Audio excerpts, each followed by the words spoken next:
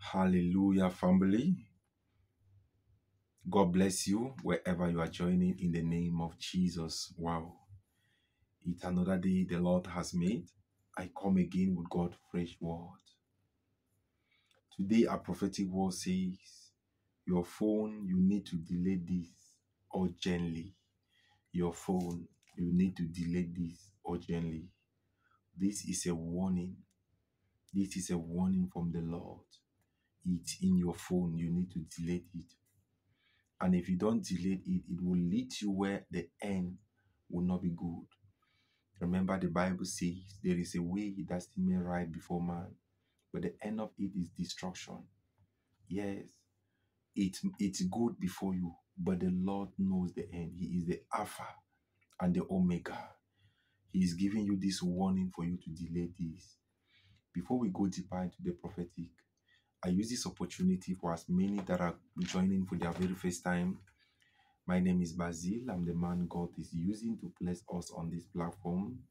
I beg in the name of Jesus, click on the subscription button, like our prophetic word, share.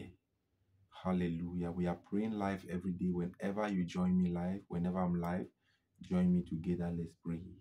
We are praying together every day. The Bible says there is a man to pray, there is a God to answer. I pray anyone under the sound of my voice at the end of this prophetic word testimony in Jesus' name. So the Lord says, delay it urgently. It's in your phone. There is some there are some particular contacts in your phone that God wants you to delete because these contacts are sent. These contacts are sent to monitor your phone. Yeah. You know, we live in the days now of which our phone carries a lot of information.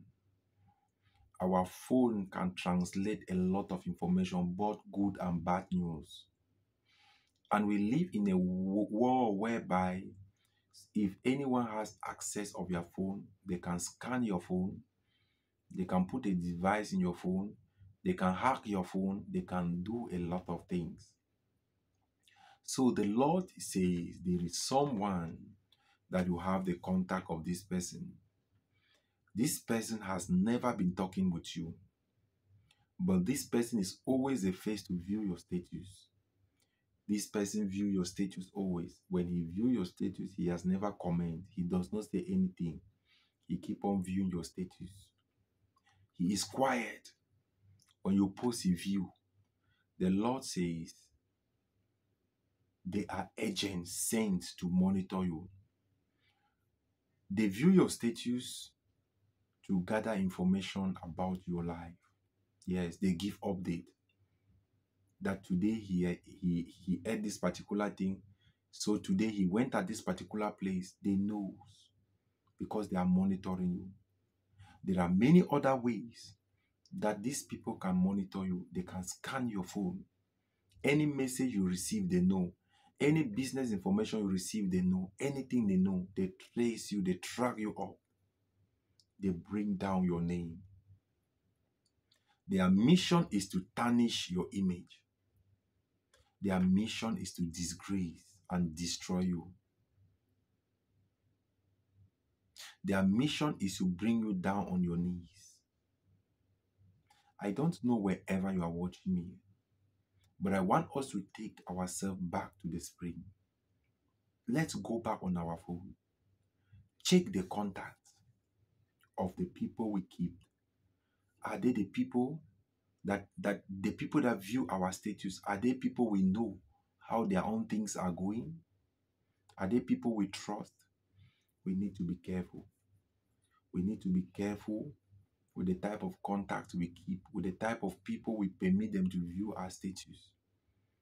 And we need to be careful with the type of things we post. It's not everything we post. You will not wake up and post. Don't do anything and post. There are some things that concern our life, we don't post it. We allow the result to post himself. God revealed to redeem. As I earlier said, this word is a warning. I pray for anyone under the sound of my voice that let anyone monitoring your life through your contact, through your phone, I scatter the device of which they are using in Jesus' name. Amen. Before you go, family, rush at the comment section and drop a prophetic comment. God bless you. I love you all. Like the video, like the prophetic word, drop a comment below. If possible, prayer point. If possible, your email. Hallelujah. Drop your prayer point on your email. I will write you. God bless you in Jesus' name.